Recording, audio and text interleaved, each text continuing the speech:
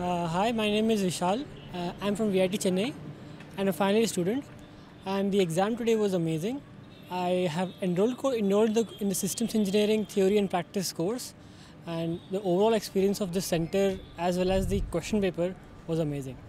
Thank you so much. Uh, from my friends, friends, relatives.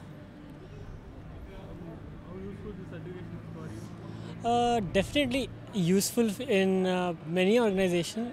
For example, the certification course which I did is useful for uh, DRDO as well as ISRO.